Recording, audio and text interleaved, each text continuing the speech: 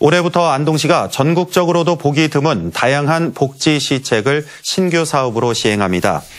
우선 둘째 아이 이상 출산한 6개월 이상 거주 가정에 15만 원 상당의 출산 용품을 지원하는 안동맘 출산 꾸러미 사업을 시작하고 다자녀 상수도 요금 감면 혜택을 출산 가정까지 확대해 15세제곱미터까지 전액 감면해 줍니다. 어린이집 만 0세 반 영유아 정원을 새학기부터 법적 기준인 교사 1명당 3명보다 더 줄여 2명으로 운영하고 전국 최초로 경로당에서 밤 10시까지 아동 돌봄 서비스를 제공합니다.